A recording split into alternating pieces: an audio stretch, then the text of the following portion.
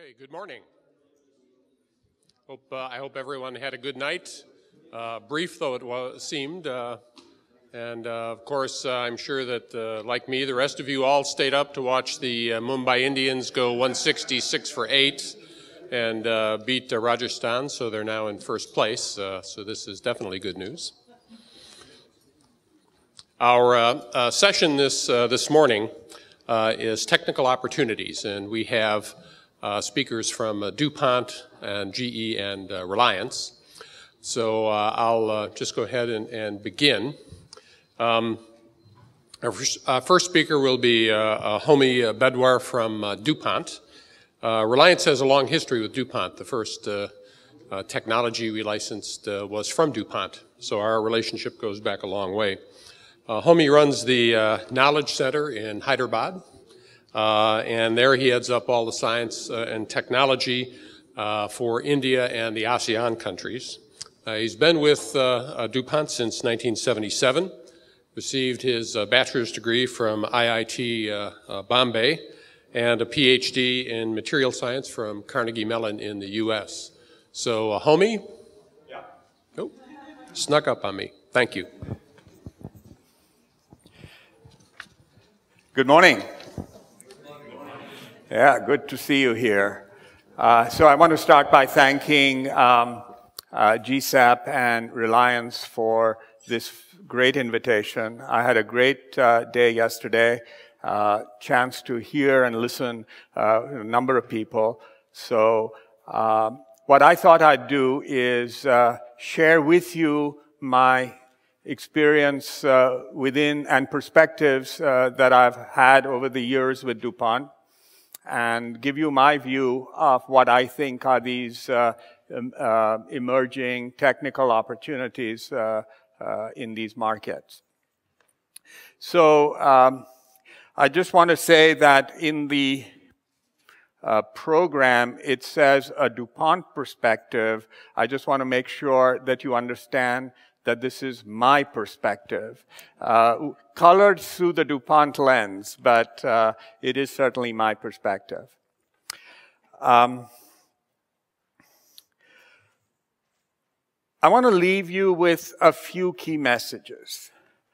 And the messages really are around the role of science in emerging economies, uh, I want to leave you with a message around how we integrate science overall globally to address challenges, and then talk about how you have to couple science with business models that make it compelling to be in these markets. Science alone doesn't do it. Business models alone without science don't cut it. You need at least that blend. And of course, you need the understanding uh, in the marketplace. So those are the, that's going to be the theme of my talk. And uh, I, I, hope to elaborate uh, from there. So I'll start with the purpose, and this is very important because my talk is around science. And uh, earlier this year, the DuPont company rephrased or combined its so-called vision and mission statements uh, and called it a purpose. And if you'll see the first sentence in that purpose is very clear. There's no ambiguity about what DuPont is. DuPont is a science company, period. And every word in this purpose statement has meaning for us. Uh, it's about how we do science. It's about what kind of science we do. And it's about the kind of challenges we, we want to uh, address. So you'll see that literally every word is very important. The word sustainability, collaboration, innovation, market-driven science, uh, global challenges, these are the areas that we want to focus on as a, as a corporation. So, in July, DuPont will be 211 years old. And When Mr. DuPont came from France to the United States, he needed a place where he could start a business in 1802. And, the, and he needed a source of energy for that business. The business was making uh, black powder. And black powder is used in gunpowder and, and other explosives and things of that nature. Very hazardous business and uh, needed a way to mill the powder and all, combine all the ingredients for black powder. The only source of energy in 1802 was water. And so he chose the Brandywine River region in Delaware um, as his first place of work.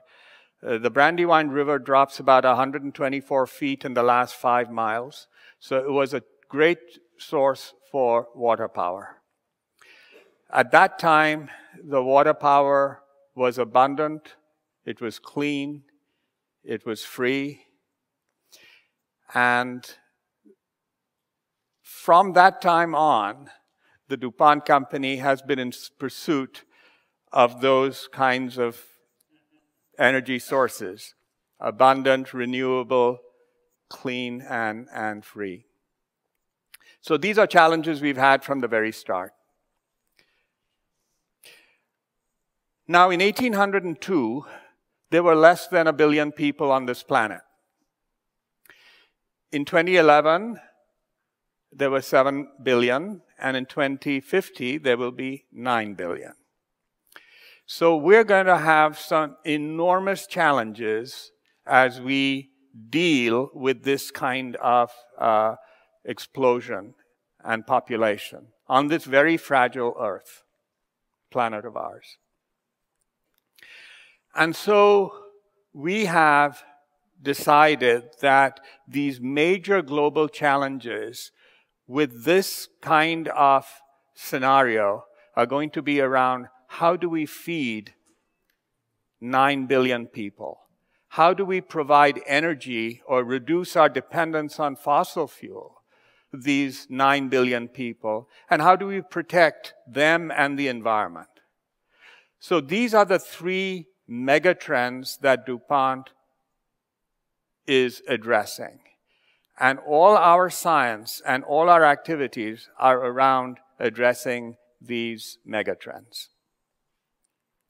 Now, these are global megatrends, but they're probably even more important in emerging markets because a lot of that population is going to happen here in this part of the world. And so the megatrends are global, but they have very specific issues and, and challenges in the um, emerging markets. And as you will see, and as we kind of talked about yesterday, uh, there is a little bit of dependence between feeding people and the energy issues. So in many ways, some of these megatrends are going to kind of work together uh, as we do this. Now, these challenges are huge. And it's very clear that to meet these challenges, no one company, no one entity can address them by themselves. And so we have this concept around what we call the global collaboratory. The global collaboratory is a way in which we include a variety of stakeholders to address these, these challenges. And so they can be the government, they can be academia, they can be NGOs, they can be potentially competitors. And are organizations that actually can help address these challenges. So the whole concept of collaboration is now very key and very integral to the way DuPont works because no, because we can accomplish together that no one can do by ourselves. Now, we are putting our money where our mouth is, and we have, uh, last year we spent $2 billion in R&D. You'll see 86% of that money uh, is around these three megatrends. And you could see we spend over a quarter of a billion dollars on energy. That's a lot of money. And a lot of our effort goes into addressing these uh, megatrends.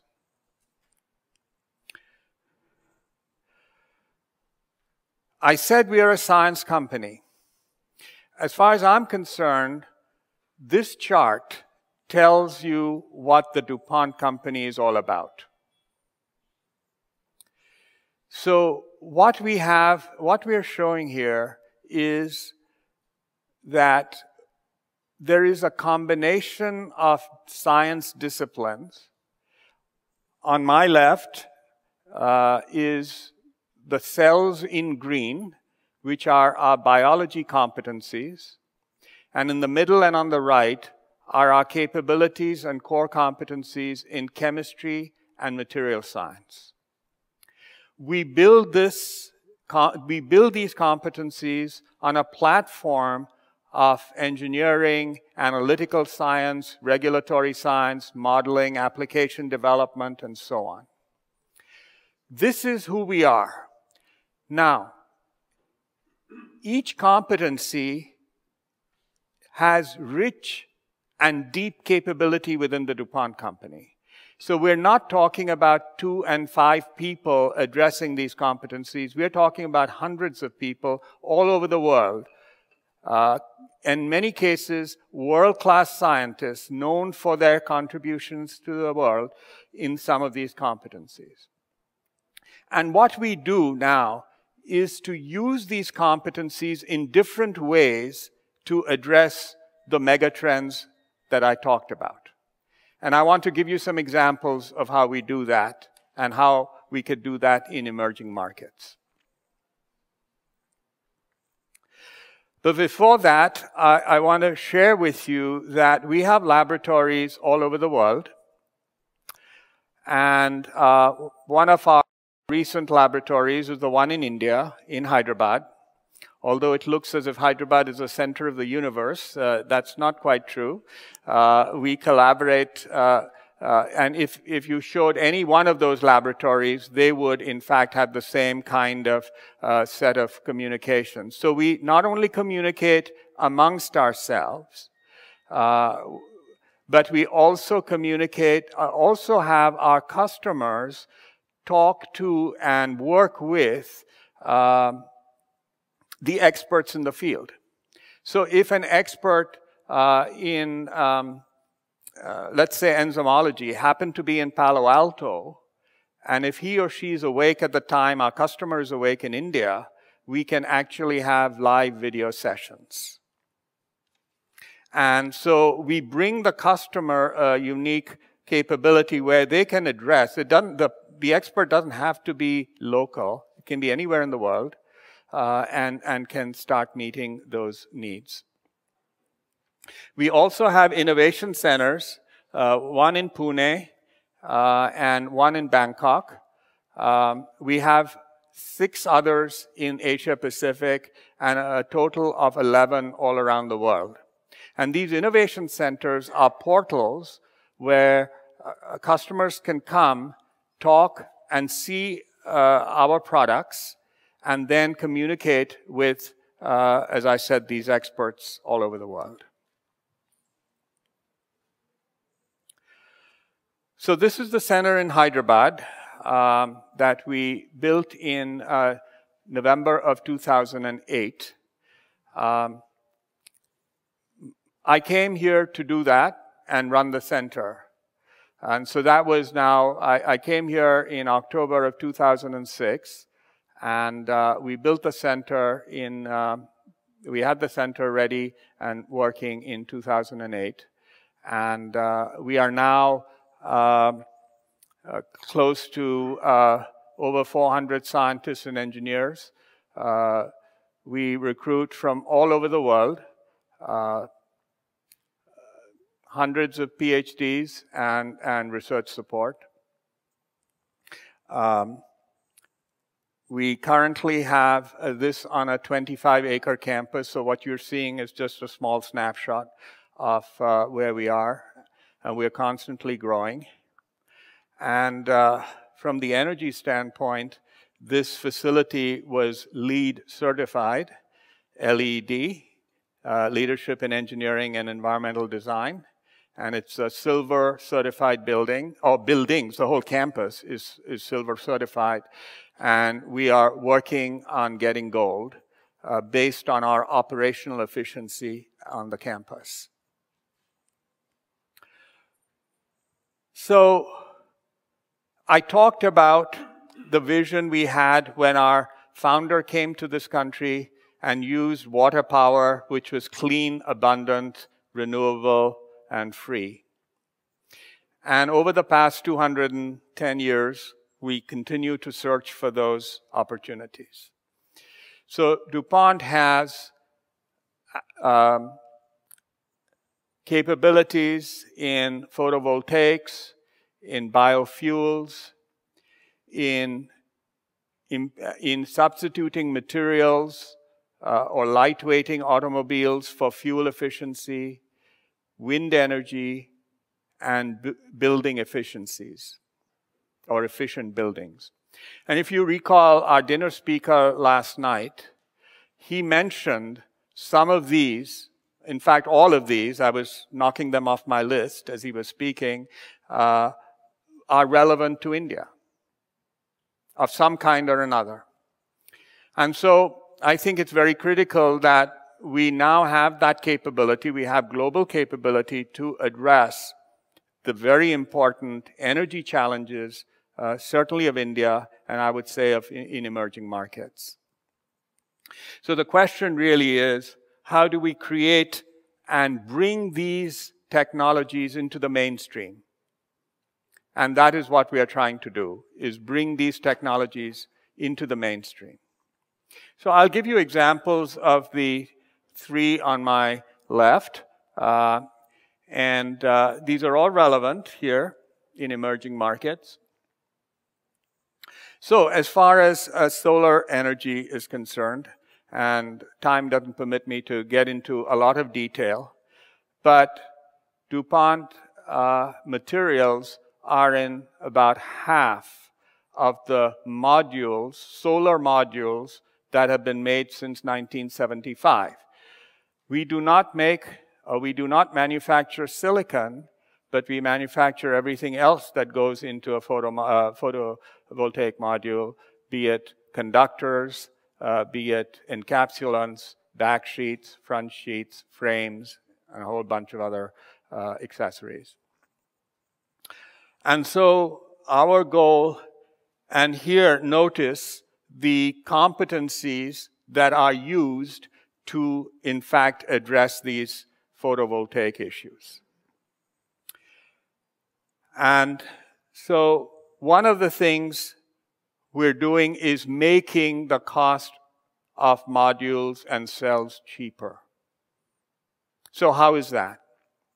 One of our products is thick film paste. This happens to be these silver lines that you see, the grid that you see on, on the module.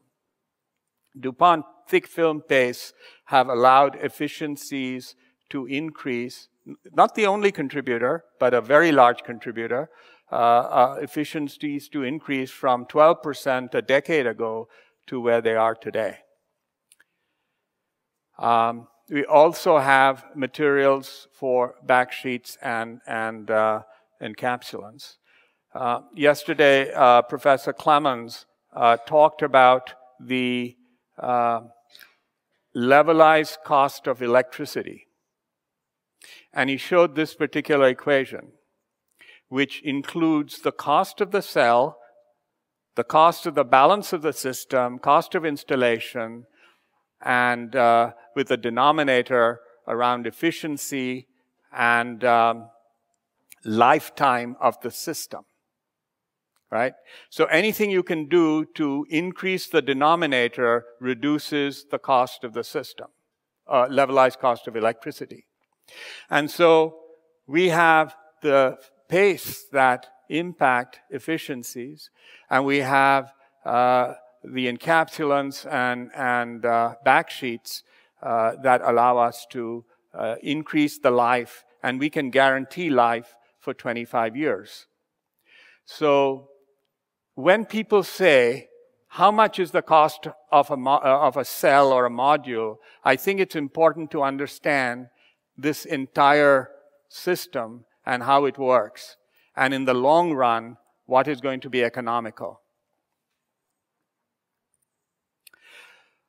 Another example I want to share with you is the work in cellulosic ethanol. And as you heard, uh, there are a lot of challenges around how you actually uh, get this to market because there are a number of pieces that have to be in place in order for this kind of uh, uh system to be, uh, to be uh, viable. And so you see here some of the competencies that we use to address the biofuels space. And the work in DuPont started uh, almost 20 years ago when we started to hire our first biologist into the company.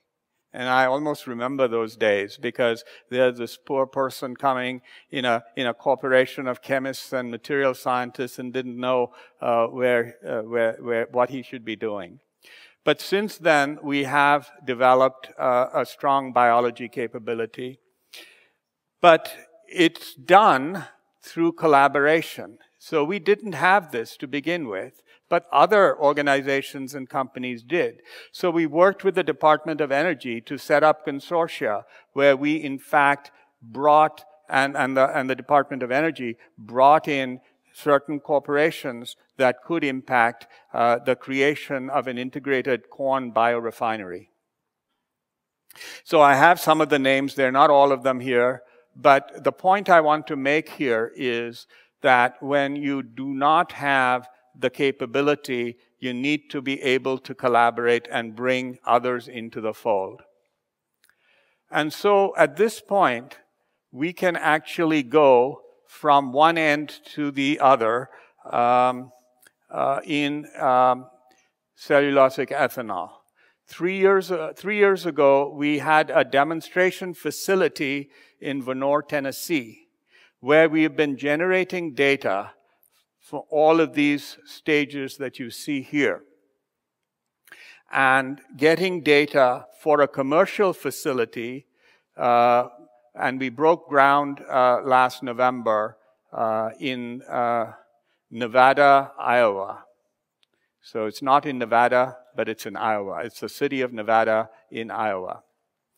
And um, that facility uh, will be operational in mid 2014, uh, at which point we will uh, be generating uh, 30 million gallons per year of biofuel, cellulosic ethanol, ethanol from uh, cellulose sources.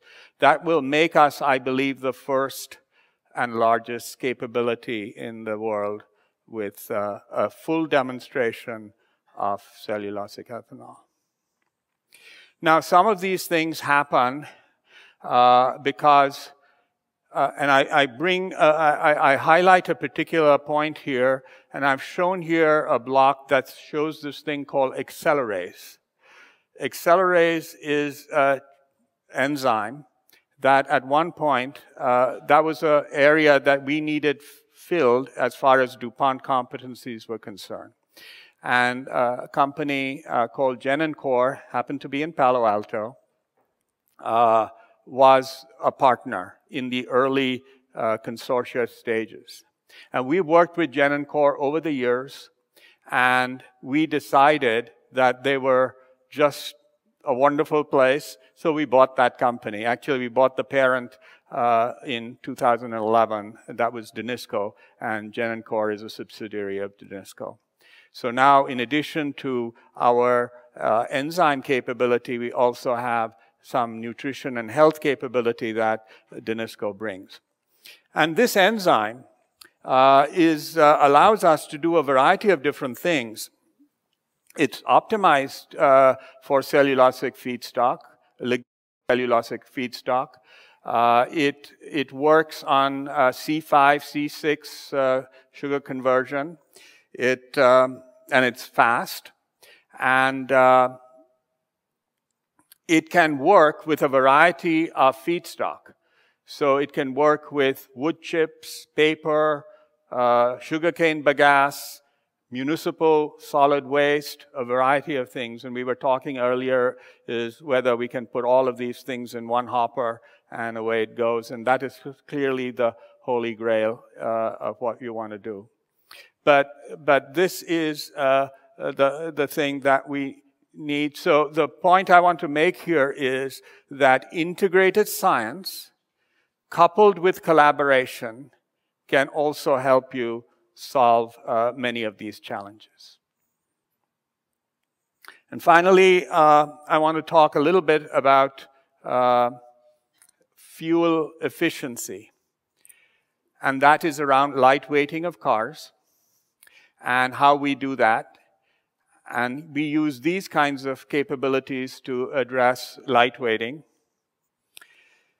And so, what does lightweighting mean? It really is substituting metal with polymers in various parts of the automobile.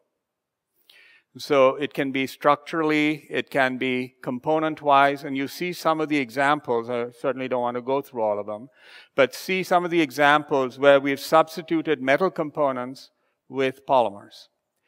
And for every 11 kilograms that you can lighten, uh, you save uh, you save barrels of, uh, of, of fuel. So, coming to our point around emerging markets, so I wanted to set the stage around global science, collaboration, integration, and now apply this capability to some of the challenges we have here. So when we talk about emerging markets, we have to look at it holistically there are clearly uh, the challenges in our rural markets, the urban, rural poor, but there are also challenges with the urban middle class. And the middle class in this country is growing tremendously. And so what we have to be doing is looking at it holistically in an emerging market, looking at all of these areas and addressing the challenges. So the main thing that keeps coming up is around affordability. And so all of these solutions need to be affordable and they need to be customized uh, for the specific needs in the marketplace. And uh, many of uh, the speakers yesterday talked about understanding the need of the customer. And so from an energy standpoint, India has renewables, it has uh, uh, the fossil fuels, and on here you'll see some of the challenges in the energy markets. There's power deficits, there are transmission losses, there's an overdependence on fossil fuel, uh, and different demand during the day uh, and night in terms of supply and demand. Huge, huge uh, uh, challenges. So one of the things we do as trying to understand the needs of the marketplace is a few years ago, a team of DuPonters uh, broke up and went to various parts of uh, India, just as you did, uh, just as the Stanford team did uh, a few days ago, and and really tried to immerse and understand some of these challenges. And here is an example, for instance, of a village in Jhansi, uh, which is off the grid, uh, and, and, and this village actually has 24 7 electricity. So, how did that happen? Well, uh, a corporation donated uh, a grid uh, and set it up and, and distributed the power. And, and they actually even meter the power to individual households. So you can actually, each household gets a little bill and they pay based on the electricity they used. But the initial cost and the capital were a charitable contribution. So the question, I think, is is this a sustainable model? And probably not, because we just don't have, at this, in this particular case, a way to do that. And so yesterday we heard the gentleman from uh, Mera Power talk about a grid mini grid system and, and how he looks at his company. There are many other examples. I have one here uh, of a corporation, uh, company called Gram Power. Some of you may have heard of them. Uh, so I want to make sure this is not an endorsement of Gram, uh, Power. Uh, we don't know much about them. I just thought it was an interesting looking model, which probably needs to be continued to be improved and looked at. But they have a way of actually getting that initial, paying for that initial capital, and then through a fairly secure system, uh, getting the money back to them in a relatively efficient way. And so it's going to need models like this uh, that um, are going to uh, be able to be used. But even a model like this needs to be scaled up. And one of our uh, speakers yesterday, I believe it was uh, Dr. Barnhart, is it? I'm sorry, yes, thank you, uh, talked about the combination of of uh, energy generation, PV combined with wind, and, and, and are these sustainable? And then do you need to have a storage solution uh, with uh, PV? And so, you know, I, I thought the Prussian blue was an interesting uh, way, uh, material to store. So is this concept scalable and therefore uh, do we need another element like energy storage to be part of this kind of model? Again, more food for thought rather than endorsing one or the other, but it's going to mean that the science is there pretty much for emerging markets. Now, I'm not advocating we don't do science in emerging markets. Please make sure you know, I, uh, you, uh, I, I, make that very clear. The point is that for current solutions, the science exists. By and large, it exists. We need to couple it with interesting ways to get it into the marketplace.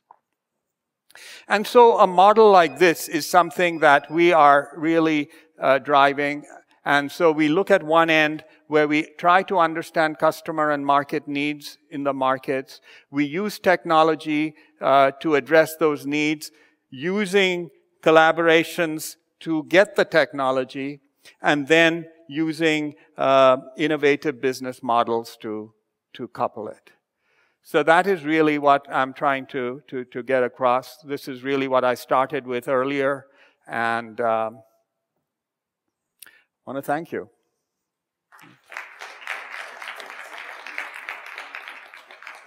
Homi, thank you. Very uh, excellent uh, talk. Uh, some stimulating questions. Any questions from the audience? Yes, Bruce.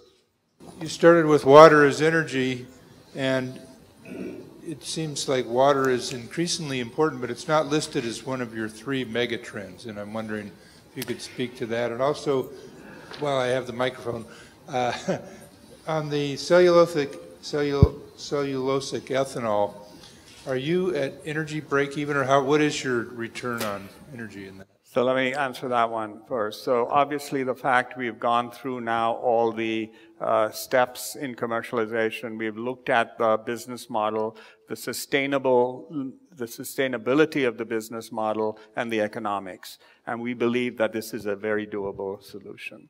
But you need to get all the pieces right. It's, uh, you can't do it in just just addressing one piece of this whole thing. There's a whole supply chain. There are various aspects to making sure this happens location-wise and variety of things like that. Uh, the first question around water. This is something that the DuPont company has looked at uh, many, many times in its history, and we continue to look at that. Um, we think it's very important. Uh, we just have to figure out what competencies we bring to the water uh, uh, challenge and whether this is best handled by others or whether there's something unique we bring to the party.